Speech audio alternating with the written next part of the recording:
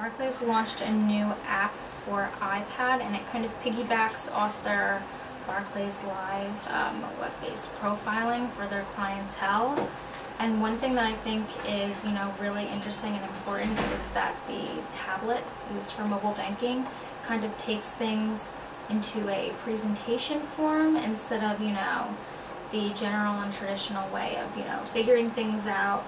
you know, in a tactile way and kind of doing it on screen. It makes everything more, I guess you have everything in one place and you can kind of figure things out more quickly and I think that's